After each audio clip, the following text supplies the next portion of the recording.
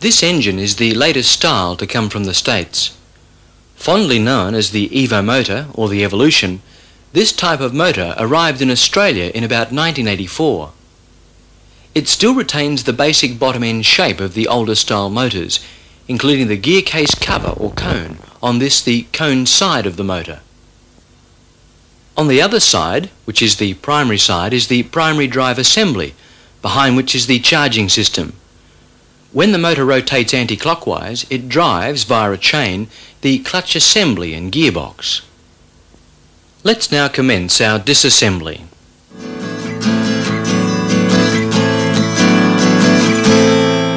To strip the motor, firstly we remove the top engine mounting bracket using a 9 16 ring spanner. We find two wires attached to the VOES or vacuum operated electronic switch. This switch advances and retards the timing at low engine revs. One of these wires is the earth. The other connects to the electronic ignition module. In most cases, the choke will also be attached to this bracket. Removing the choke and switch from the bracket is time consuming and often unnecessary, so we'll just let them hang over the carby. We remove the carby with a quarter inch Allen key wrench by loosening the four Allen head bolts holding the intake manifold to the heads. We only need to remove two of these bolts as the manifold flange has two holes and two slots for ease of maintenance and installation. When we've removed these two bolts, the carby, the intake manifold and top engine mount can be removed as one unit. By the way, this is a relatively new type of carburetor for Harleys. It's called a constant velocity or CV carby for short. Our next step is to undo and remove the four Allen bolts from the top cover of each rocker box using a 3 16th Allen key wrench. Each bolt has a metal washer and fibre washer. We can then proceed to lift the cover off complete with bolts in place. Beneath this cover we find a second cover. These covers will sometimes come off as a single unit if the seals have been baked from the heat of the motor. We now have exposed the lower cover's rocker assembly. To remove the rockers, we should first raise the front cylinder to the top dead centre of its compression stroke. To do this, we need first to remove the two spark plugs by using a spark plug spanner or a 13 16 ring spanner. With an Allen key wrench, we now remove the timing inspection plug. Through this hole we can see the left-hand flywheel and the timing marks for each cylinder. For better leverage, we loosen the sprocket shaft nut and remove it with the spacer.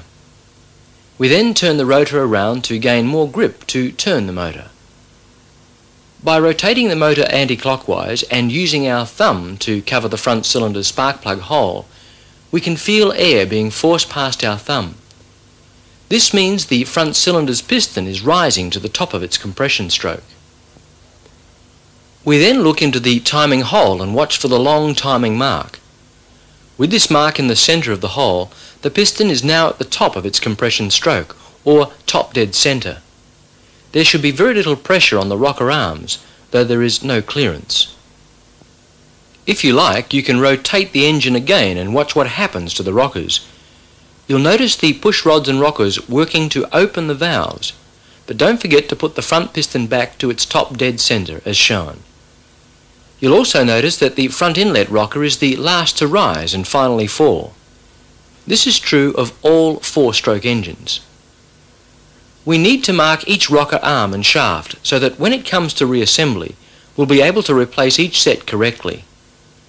We mark one rocker arm, front inlet or FI, and the other front exhaust or FE.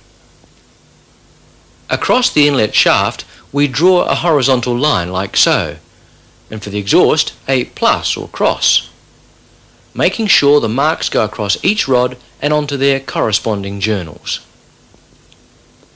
Working now over the top of the motor, we first loosen the two Allen bolts. Then, using an extension bar, we loosen the three 7 16 bolts. We undo the smaller bolts first because the larger bolts are best able to maintain the tension on the rocker. Next we undo the four half-inch bolts. We do this using a cross pattern method. We loosen them a quarter turn at a time.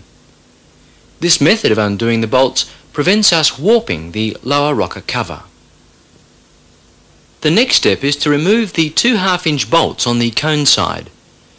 These act as cotter pins to hold the shafts in place. They also stop them rotating. Once removed, we use a soft metal drift and push the shafts through from the primary side. As each shaft is removed, collect its matching rocker. The push rods can now be removed and we place them in the storage cards we've prepared. The cards are marked front and rear. There are two holes in each card to accommodate the inlet and exhaust push rods. These parts have been computer matched and must be replaced exactly as removed. In most cases the push rods have a colour coding system painted at the top which assists us to correctly replace them. The front inlet push rod is yellow while the front exhaust rod is green. Leaving all the loosened bolts in place we simply lift the base rocker cover plate off, along with its gasket. With a twisting motion, we remove the pushrod cover's retaining clip with a screwdriver. We then twist the remaining pushrod cover, lifting at the same time to break the seal. Pushrod covers can at times be difficult to remove and may require considerable force. The other pushrod cover on the front cylinder is removed in exactly the same way. This of course also applies to the pushrod covers on the rear cylinder. We now remove the O-rings from the pushrod recesses in the head.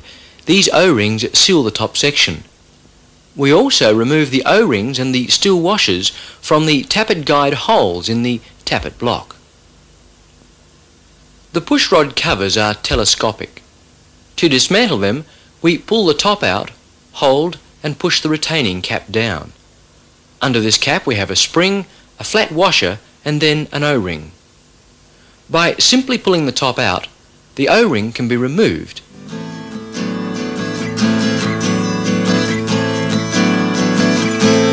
As we can see, there are two valves either side of the head, the inlet valve and the exhaust valve. To remove them, we must first remove the head. This is done by loosening these four bolts. These bolts must be undone in a sequence as shown on this card and must be done in stages. That is, an eighth of a turn for each bolt in sequence. Failure to follow this procedure could cause the cylinder head and barrel to warp, so we need to take it slowly. Only when the pressure is completely off these head bolts can we unscrew them by hand. We'll leave them in place. A short sharp hit with the palm will break the carbon seal and the head gasket. Carefully lift off the head with its head bolts. Beneath the head we can see the two valve heads. Notice the shape of the combustion chamber. This solid section dramatically increases the compression of the fuel-air mixture, enabling an efficient combustion pattern, as well as increasing the velocity of the exhaust gases. We now remove the head gasket. This of course could have been stuck on the barrel. Notice also the offset pattern of the pushrod holes. This straightens the pushrod's working angle, increasing the life of the tappets and the pushrod assemblies.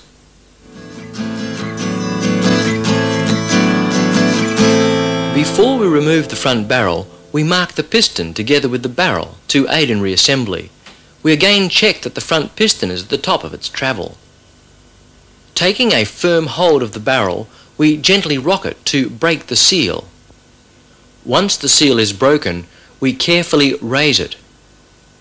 Once it is free from the crankcase, we insert a rag around the conrod and cover the crankcase hole. This rag stops any carbon, dirt or cracked rings falling into the crankcase. We then continue to raise the barrel until the piston is almost out. Then, with our hand under the cylinder, steadying the piston to stop it hitting the cylinder studs, we can completely remove the cylinder. We then rest the piston carefully against the studs. To protect the studs and the pistons when resting against each other, we'll need to slide four pieces of half-inch rubber tubing over the cylinder studs. As you can see, This tubing has been cut from common old garden hose. The piston can now rest safely against the studs.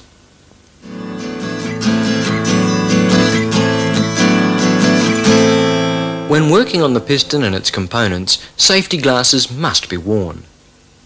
At the top of the piston, we have the piston ring assembly. Directly beneath the rings is the piston or gudgeon pin. Working from the top, we see the top compression ring. Next is the second compression ring. The lower set of rings comprises two thin oil scraper rings, separated by a segmented or spreader ring.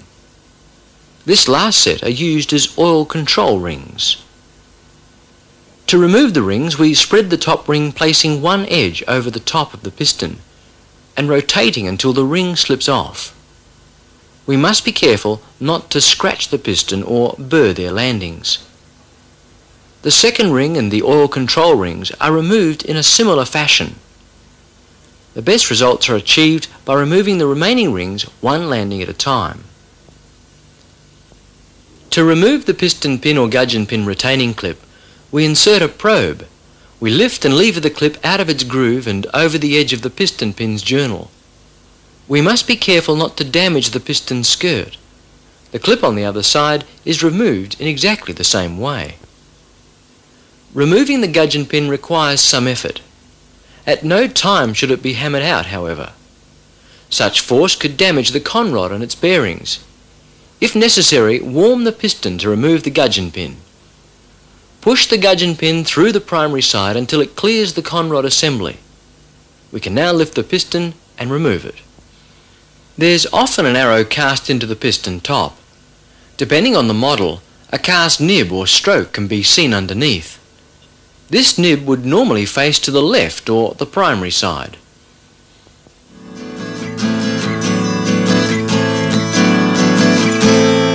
Before we can remove the tappet blocks, we must first disassemble the rear cylinder. We should rotate the engine until the rear piston is at its top dead centre. With our thumb placed over the rear head spark plug hole, we feel for escaping air. Through the timing hole, we can observe the dot, which indicates the rear cylinder's top dead centre. We can now remove the rear cylinder in exactly the same way we disassembled the front cylinder. To remove the tappet block, we need first to undo the 4 quarter inch bolts using a multi-hex socket. We then remove them. With a large paper clip bent to this shape, insert it into the oil holes of the tappets. Holding the wire back, we tilt the tappet block to break the gasket seal and remove it, complete with the hydraulic units and cam followers. Each unit must go back into its original bore so store them in a box or container clearly marked and cover them with a rag to protect them.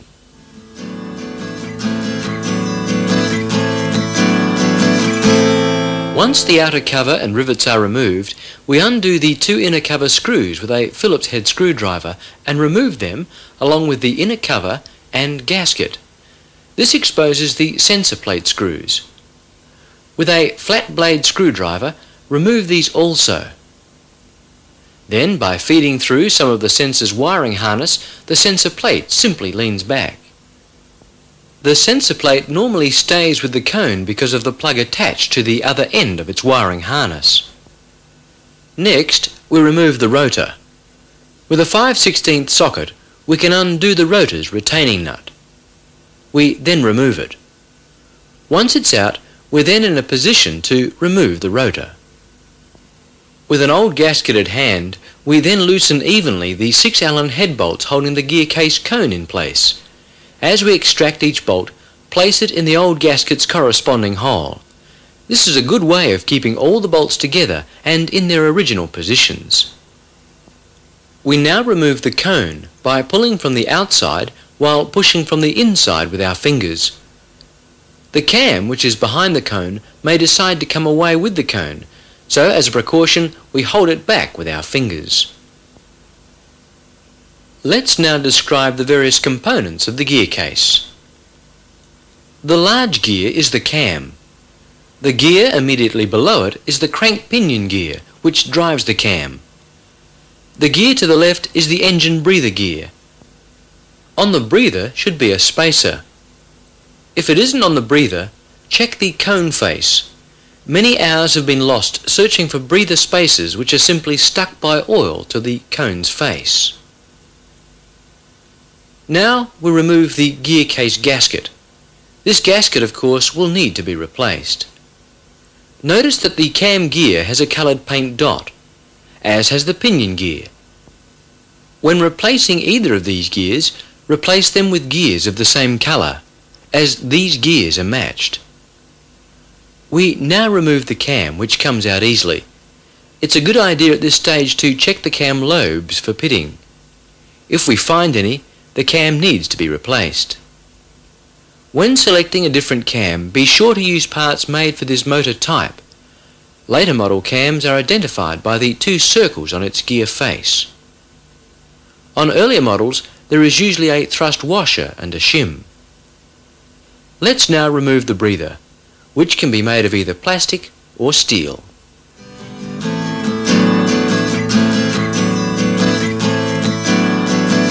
To pull the oil pump apart, we'll need to loosen all bolts and remove the three holding the outer cover to the body, leaving the remaining bolt to hold the case in position. Once the case is removed, the remaining bolt and gasket may also be removed. We then take the circlip off the end of the drive shaft using a probe.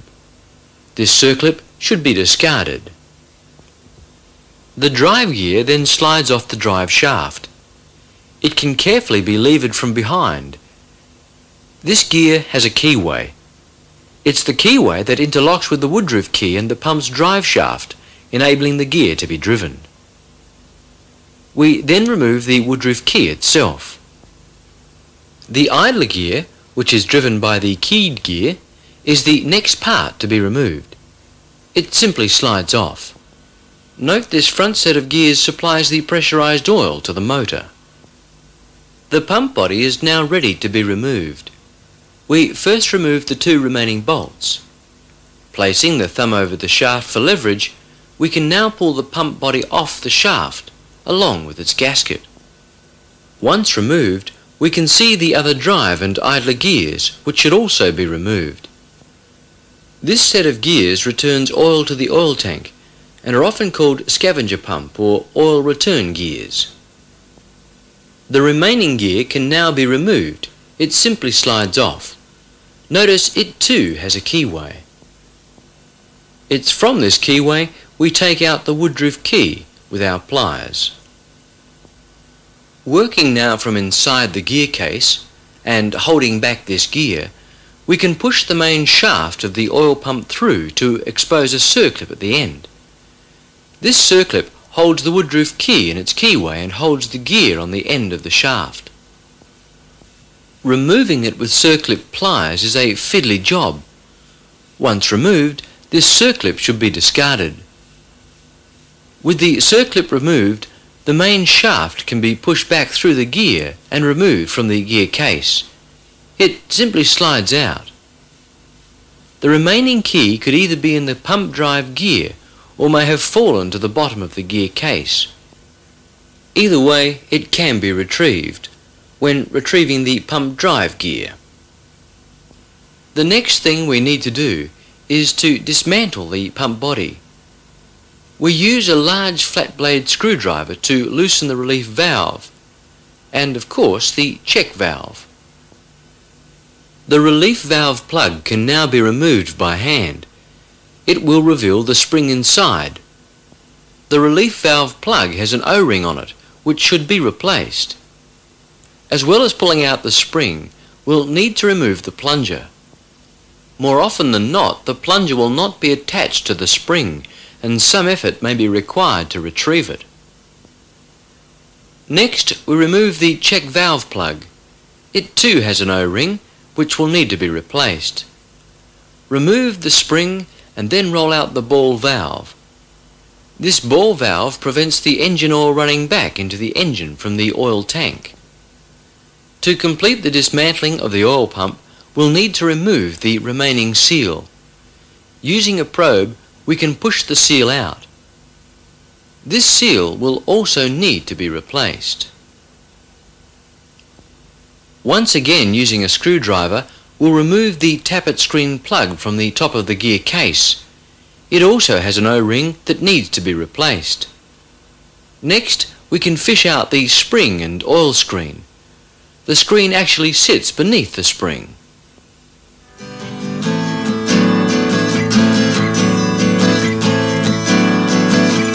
Because we've previously turned the rotor around, we simply slide it off. Next, we remove the washer. This too slides off.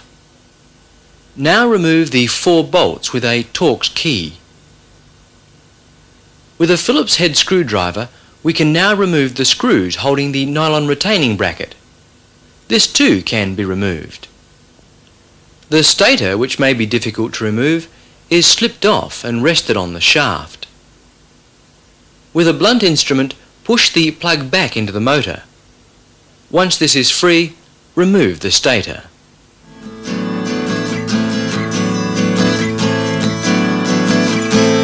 To split the cases, we must first remove all the nuts and bolts holding them together, all except the bolts in this configuration. The one at the top centre, the one at the bottom left-hand side of the screen, and on the bottom right of the screen. If we need to drive them through with a drift, we can do this from the gear case side. We'll place them in the corresponding holes in the card. Remember, these bolts hold the cases in the correct alignment. Mix them and we could misalign the crankcases. After we remove the rags, we can pull the case. The cases should split exposing the crank. Do not use the cylinder studs to pull the cases apart. If these bend or are damaged, they'll have to be replaced. What we're looking at now is a three-piece crank with the conrods intact.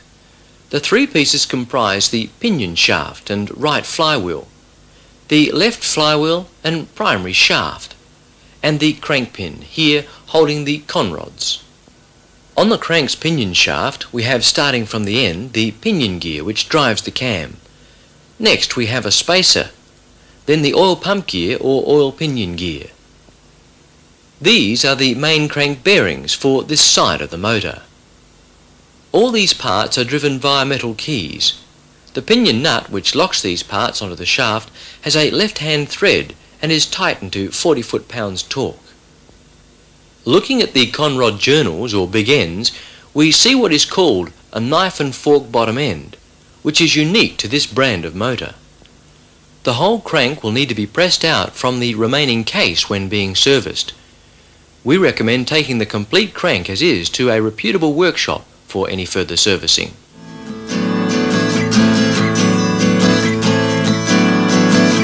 We first remove the four head bolts. There's two large and two small. To remove the valves, we'll need a valve spring compressor. Place the splayed end over the top of the valve stem. The other end of the compressor is placed over the head of the valve like so. We then compress. This process is not easy because we're tensioning the springs. We'll need to keep winding until the spring tension is taken off the valve collets. If we're lucky, they might fall out like this one.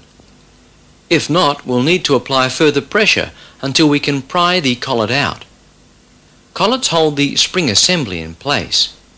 Be careful not to lose these collets. We must keep them together as the collets are a matched pair and must go on back together later. Once the collets are removed, we release the tension on the springs by undoing the spring compressor. We can now remove the valve spring's top retainer washer. We then remove the dual springs, which consists of one inner spring and one outer spring. These springs return the valve to the closed position after the valve has been pushed open. Before we attempt to remove the valves, however, it's good practice to first check the groove at the top of the valve stem for any burrs caused by the valve collets. If there are any present, we'll need to carefully file them off before removal. To remove the valve, we push the valve stem through the valve guide. We may in fact have to apply some pressure to force the valves past the guide seal because of the sharp edge on the valve stem. This seal is destroyed in the process. The other valve is disassembled in exactly the same way. We can now remove the valve stem seals. Generally, however, some effort is required to remove them from the valve guides. We're using a pair of multi-grips to assist us. We also need to remove the base washers. The valve guides hold the valves true to their seats and are also serviceable. We recommend that all work done on the valve guides and seats seen here be done at a reputable workshop. Valve facing and reseating or synchro seating requires specialized tooling. The inlet and exhaust valves and seats are easily identifiable, but to ensure that valves from the front and rear cylinders do not get mixed up, we can keep them separated and identified by placing them in cards like this. We have now completed the disassembly of our Evo motor. We must now clean thoroughly all the parts, paying particular attention to gasket surfaces.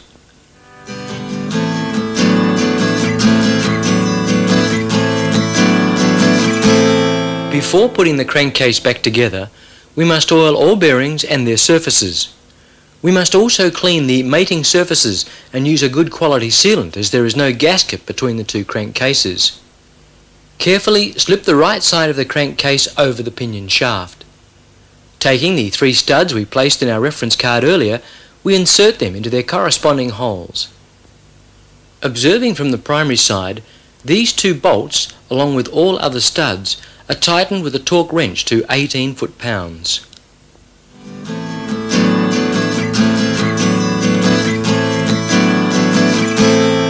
Firstly, the oil pump's main shaft should be free of deep wear marks. The keyway edges should also be square. We insert the oil pump drive shaft with its three keyways, one key to the inside while the other two remain outside. We now insert and mesh the pump's drive gear with the worm gear on the pinion shaft. This is a fiddly exercise, so pay particular attention to the angle of the keyways seen here. We have found this position is the easiest to insert the Woodruff keys later. The drive gear keyway should correspond with this angle. We'll need to push the shaft through the gear to expose the end keyway. We can then insert the Woodruff key which is also a delicate procedure. Once the key is in place, we push the shaft partly into the gear. There are two pairs of gears still to be installed, one small pair and one large pair. We now replace the Woodruff key on the shaft. Selecting a large gear with a keyway, we slide it into place over the Woodruff key. It shouldn't rotate on the shaft if we've placed it properly. To reassemble the oil pump, first we replace the pump's main shaft seal. We push it home with a socket until it sits snugly, with its sealing lip facing in. We then replace the check valve bore. This is followed by the fine spring. We then replace the check valve cap with its new O-ring and screw it down by hand. We can now replace the pressure relief piston making sure that the hollow end is at the top. Insert the coarse spring and then replace the cap with its new O-ring. Once both the check valve and relief valve have been tightened by hand, we'll need to tighten them with a screwdriver. We now replace the remaining large idler gear onto its shaft in the pump body. We then push two 7 16 bolts into the top and place the body gasket over them. The pump body is now ready to be installed on the gear case. Holding back the pump's main shaft, we slide the pump body over the shaft. When the gears mesh, it will sit up against the crankcase wall. We finger tighten the top two pump body bolts. We then insert the next Woodruff key onto the main shaft and place the drive gear on the shaft and over the key. If installed correctly, the gear shouldn't rotate. The next gear to go on is the idler gear. It simply slips onto this shaft. We need now to secure the drive gear by replacing the circlip. Of course, this circlip is brand new. To replace the oil pump outer cover, we first replace the gasket and the two inside bolts. pulling their washers back against their heads. We do this to make room for the oil pump outer cover. We then slip the outer cover on and insert the other two bolts. But before we torque down the six mounting bolts, we must ensure that the oil pump body clears the face of the case, like so. With our torque wrench, we tighten all the bolts to 9 foot-pounds. Next, we place a new circlip on the end of the shaft inside the gear case. This circlip holds the drive gear and key in place. We then replace the tappet's oil screen. In goes the screen, followed by the spring. And then finally, the oil cap, with its new O-ring.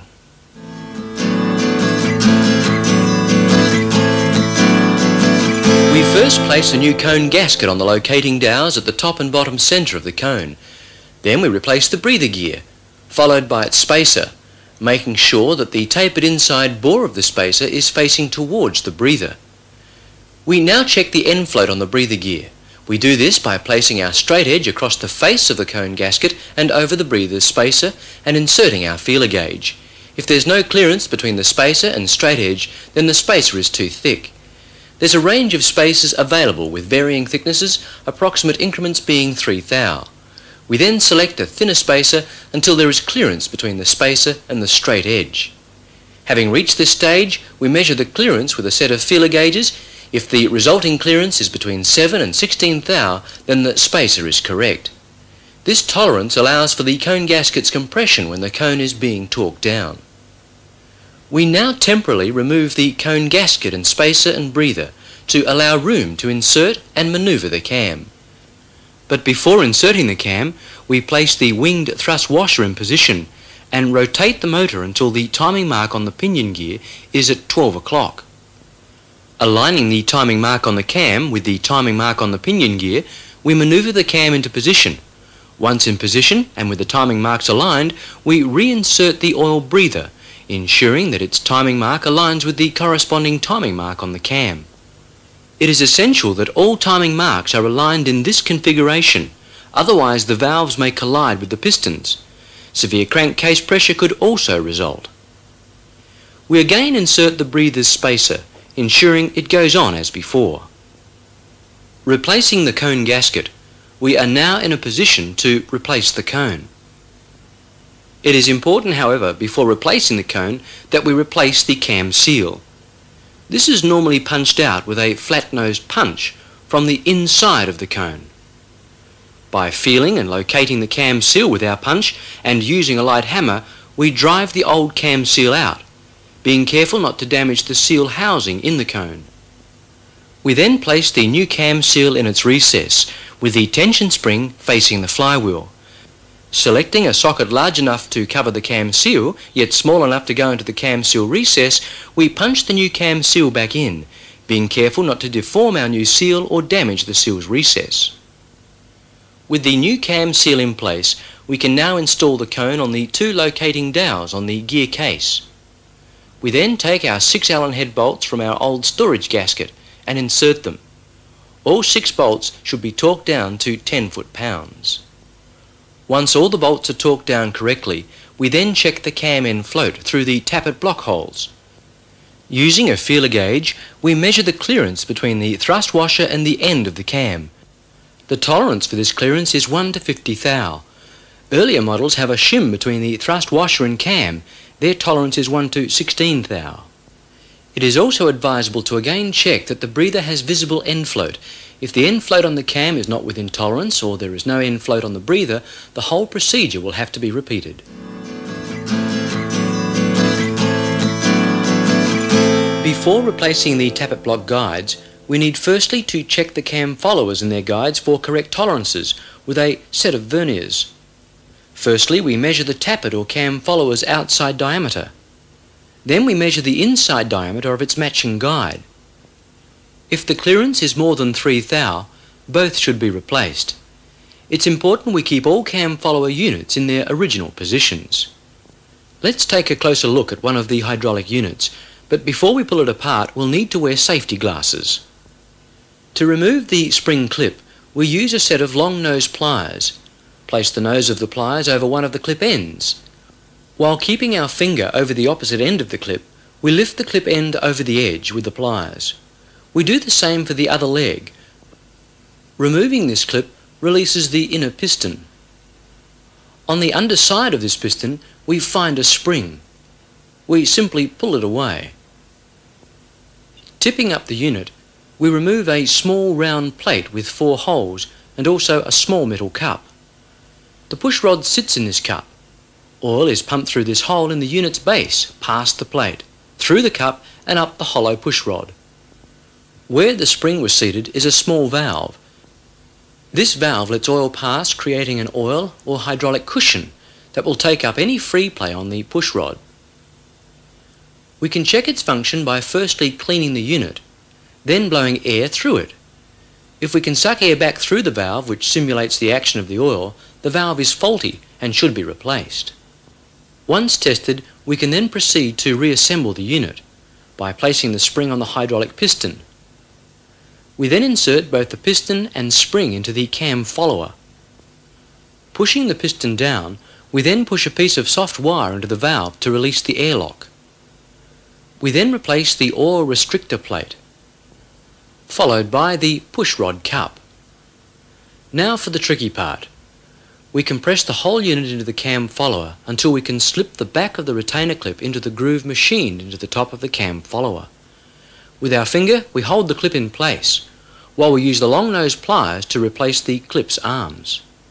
This method may require several attempts. The other three hydraulic units are disassembled and reassembled in the same manner. When replacing the tappet blocks, we use a reliable sealing compound on all gasket surfaces. We check to make sure the gasket holes are aligned. This is important as these are the only oil feeds for the rocker boxes.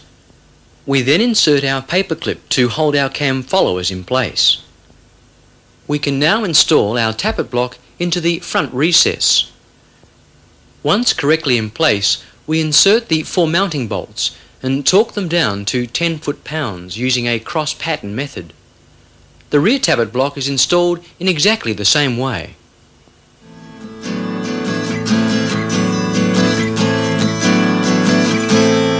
We start by checking the tolerance between the gudgeon bush or piston pin bush and the gudgeon pin. If the clearance between the gudgeon bush and the gudgeon pin exceeds one thou, or these components are pitted or scored, then these parts need to be replaced. When fitting new pistons and gudgeons, we normally change the bush as well. The piston rings are checked by placing each ring into its respective cylinder. Using the bore's matching piston, Slide it up the cylinder towards the top. To square the ring, we now push the ring against the piston, then slide the piston back. We then place a feeler gauge blade into the ring gap and keep changing the blade's thickness until it eventually moves back and forth through the ring gap with only a slight resistance. We again check that the ring is still square in the bore by pushing the piston back up the cylinder. If we get the same gap reading with our gauge, then we confirm the gap size. The gap for new compression rings should be between 7 and 20 thou. All ring gaps should be between 9 and 52 thou. All the rings to be used in the cylinder's bore, except the segmented ring, are measured in the same manner. We do, however, need to check the segmented ring in the bore to ensure its ends don't overlap. After sizing, these rings remain a matched set for this particular bore. The tolerance of the piston fit in the bore should be between a half thou to one and three quarter thou when new. But because of the piston's complex shape, that is oval from front to rear and barrel shape from top to bottom, the piston diameter will be hard to measure normally. Before measuring or machining the barrel, it should be tightened between torque plates. Otherwise, bore measurements may vary by as much as one thou and may later lead to piston seizure. As boring requires such precise tolerances, we suggest taking all parts to a workshop geared for such work. We can allow up to 5.5 thou clearance between the piston and bore before having to change the piston and reboring the barrel. Once satisfied that the piston and bore tolerances are correct, we remove the piston from the barrel. Before replacing the cylinder, we should ensure that its top and base are flat. We check this by laying a straight edge across the top of the cylinder, firstly in a square pattern and then in a crisscross pattern. We can allow a warpage of no more than 8 thou and can measure this with our feeler gauges. We then check the base of the barrel. We allow no more than 6 thou warpage here. If these tolerances are exceeded, we need to replace the offending barrel. We're now ready to replace the rings. Of course, safety glasses should be worn while fitting the rings and circlips. First, the segmented ring is placed onto the third groove, followed by its two oil scraper rings, which sit either side of the segmented ring. Next, the second compression ring, which is easily recognized by the dot near the gap.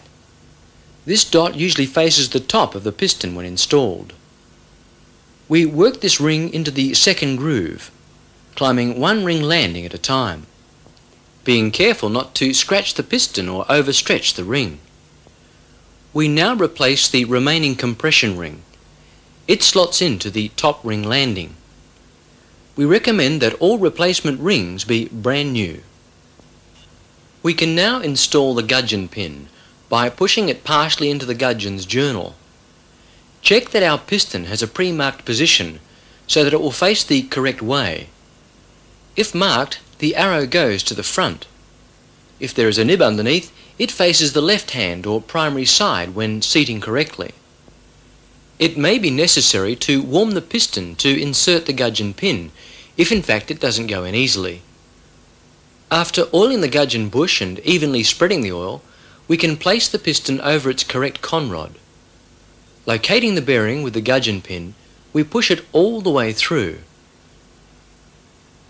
We should now check each side of the piston's gudgeon pin to ensure the grooves have enough clearance for the retaining clips to be installed and are free from burrs and foreign objects. If all is okay, we are now ready to install the retaining clips, but first we must place a rag over the crankcase hole to catch the gudgeon clips should they fall. It would be a shame to have to pull the whole motor down again just to retrieve one little retaining clip. To install the retaining clips, Turn the gaps to the side. Using a small screwdriver, insert it into the recess and lever up. At the same time, we push in with our fingers. Always use new clips to avoid damage during engine operation. There are two clips per piston. Be sure to install both. Using a reliable sealing compound on both sides of the base gasket, place it onto the barrel base, ensuring all holes line up. We smear oil into the bore from top to bottom. Next oil the rings and their grooves or landings, turning the rings to ensure even penetration of the oil. Starting with the compression rings, we stagger the gaps to the opposite sides of the piston. That is the 9 o'clock and 3 o'clock positions. The oil scrapers gaps are staggered to the 12 o'clock and 6 o'clock positions. Next, we remove the protective hoses, being careful the piston doesn't fall onto the studs. We're now ready to apply our ring compressor. We slip our ring compressor over the piston and rings and tighten it, but not too tightly because we need it to slide down the piston when we're installing the barrel over the rings. Then again, not so loose that the rings won't slide into the barrel. We also need to leave a leading edge at the top of our piston, here, to help start the barrel over the piston. We then insert two pieces of wood over the rag under the piston and lower the piston onto these blocks. To correctly position the barrel over the studs, we align this locating hole on the barrel with the locating dowel on the crankcase. We then guide the barrel gently over the piston, checking that the rings are in fact going in and not catching on the barrel. With the palm of our hand, tap the barrel over the rings. When the barrel is far enough down the piston, we can release the ring compressor and remove it, being careful not to drop the barrel. Once the ring compressor is removed, tap the barrel down even further and remove the two blocks, then the rag. While holding up the barrel, we make a final check of the crankcase barrel surface and remove any oil traces with our rag. When this is done, we lower the barrel to sit on the crankcase. We make sure the front piston is at its top dead centre by turning the motor and observing through the crankcase timing hole the vertical stroke on the flywheel. Another way is by looking into the front tappet block to watch the tappet rise and finally fall. As the engine needs to be turned, we place our hand on the barrel to stop it rising with the piston. We also need to watch the front inside tappet. This will rise and fall, indicating the piston is rising to its compression stroke. Once at the top, we let it rest.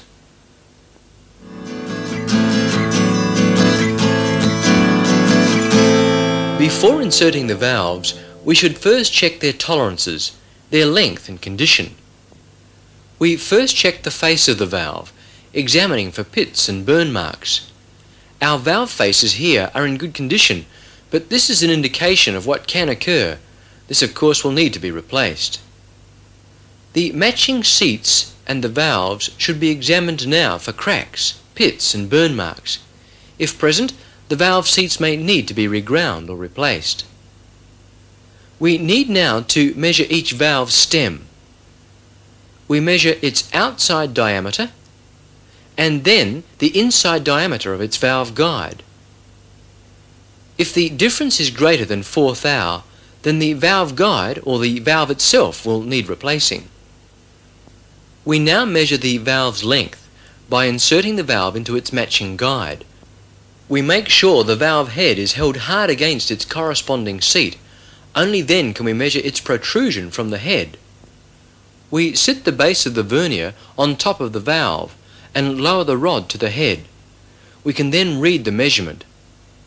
If it exceeds 2.034 inches, then the valve may need replacing. Manufacturers normally supply a valve with a shorter stem.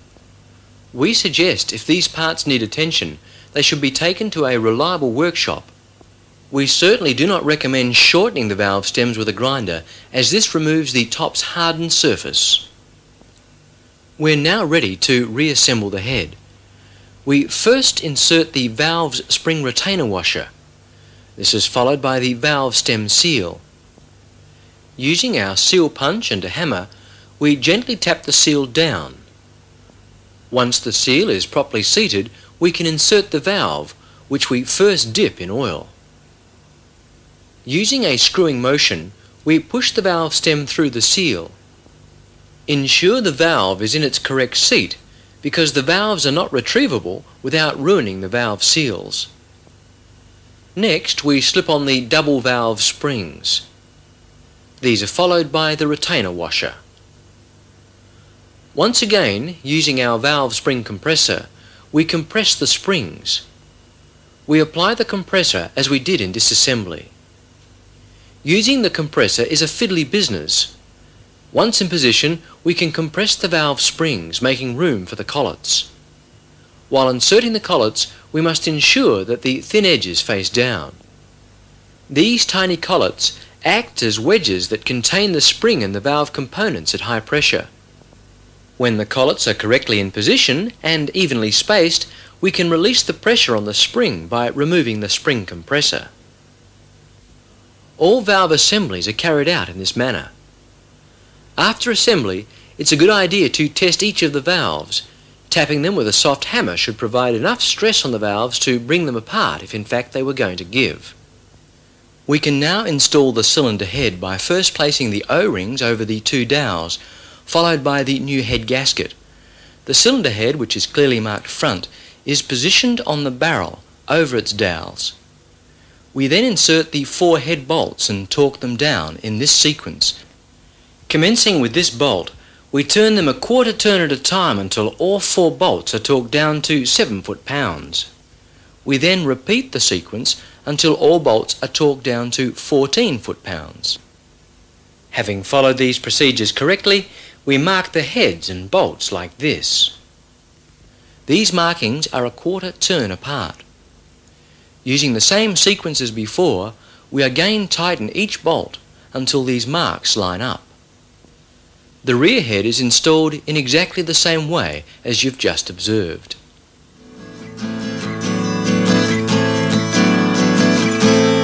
We now replace the O-rings in the middle of the pushrod tubes by pulling the upper and lower pushrod covers apart. We simply slide the old O-ring off to make way for the new one. If the new O-ring doesn't fit snugly, then of course it's the wrong size. We then place the two large steel washers into the tappet blocks. These are followed by the new O-rings. We seat these with our fingers. We then replace the pushrod cover's top O-ring and insert the base of the cover into the tappet block. We do the same for the other pushrod cover. Before inserting the pushrods, check the balls on each end, making sure there is no pitting or scoring and that the rods themselves are straight. To check they are straight, roll them on a smooth surface. If a pushrod is damaged, make sure it is replaced with one of the correct colour code. We now insert the pushrods bearing in mind that the front intake is yellow and the front exhaust green. The rear exhaust rod, by the way, is purple, while the rear intake is blue.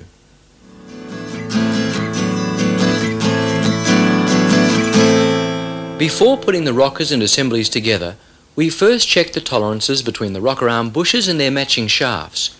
Using a vernier, measure the shaft's diameter at the spot where the two bushes in the rocker arms would sit that is approximately one inch from each end of the shaft. Then measure each bush at each end of its rocker arm.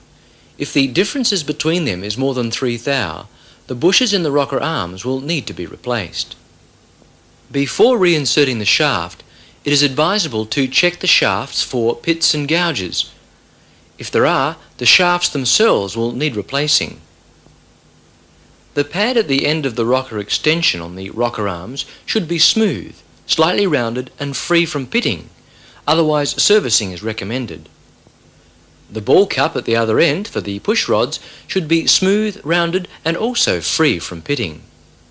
At this point, it's a good idea to clean the oil galleries with compressed air to remove any foreign matter. We now place the rocker and its shaft into position. In this instance, we're replacing the front inlet. With the indent on the rocker shaft facing the right hand or gear case side, we insert the shaft. We then face the indent to the outer side. Then push the shaft in till it sits flush. Taking our feeler gauge, we measure the rocker's end play by inserting the blade between the journal and the rocker arm while holding back the rocker arm. If the gap size exceeds 30 thou, the rocker arm and lower rocker plate may need to be replaced. We repeat these procedures for all rocker arms. Next, we place the smaller of the lower rocker cover gaskets on the head, followed by the larger of the two, being sure to use a reliable sealing compound on all the mating surfaces. We can then place the lower rocker cover, making sure that the rocker arms sit over the valves and that the push rods are seated in their cups. It may require a degree of manipulation before the rockers and push rods sit properly. After inserting all bolts correctly, they can be tightened down in the following sequence. These 4 half inch bolts are tightened evenly in a cross pattern to 17 foot pounds. Next we screw down and tighten the 3 7 16 bolts to 12 foot pounds. And finally the two Allen key bolts. These two are torqued down to 12 foot pounds. We then lay the middle rocker cover gasket into its recess, ensuring that it sits evenly all the way round. Once correctly in position, the middle cover is placed on next. This is then followed by the small centre gasket. We should ensure that this sits properly. Checking that the middle cover is evenly placed on the head, we replace the top cover gasket, making sure it sits down evenly into the recess. Finally, we install the top cover, placing it gently over the middle gaskets, being careful not to dislodge them.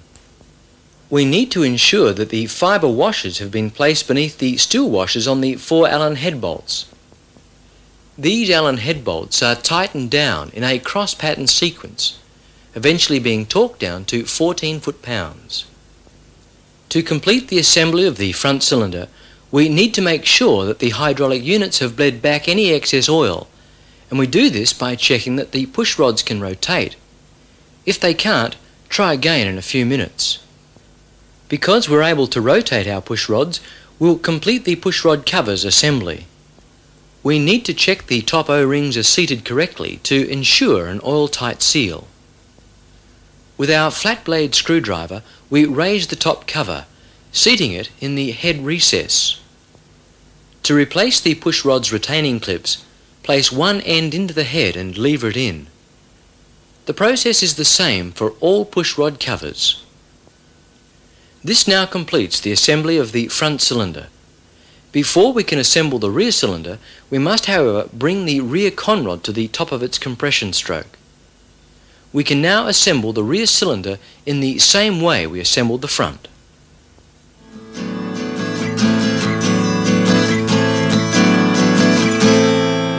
Resting the stator on the shaft, we insert the plug into its recess, pushing it home with a blunt instrument. The stator is then bolted back into place with its four retaining bolts. We then replace the nylon retaining clip, being careful not to over-tighten the small screws. The spacer is then slid into position, followed by the rotor that is lined up and slid on the splines of the shaft. The rotor is then followed by the retaining washer. Normally the drive sprocket and compensating sprocket would be fitted now. Finally we screw into place the locking nut. While working on this side of the motor we can replace the timing inspection bung.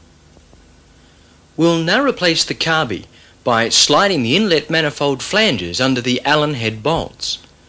Supporting the manifold we tighten all four Allen head bolts holding the manifold to the heads. We tighten these bolts to 12 foot-pounds.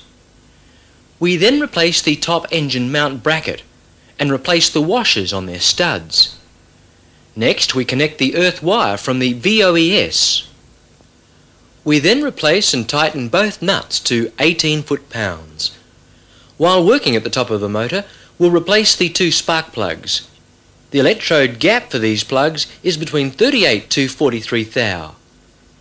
We'll now reassemble the electronic ignition, ensuring the nib and the rotor sits in this cutaway on the end of the cam.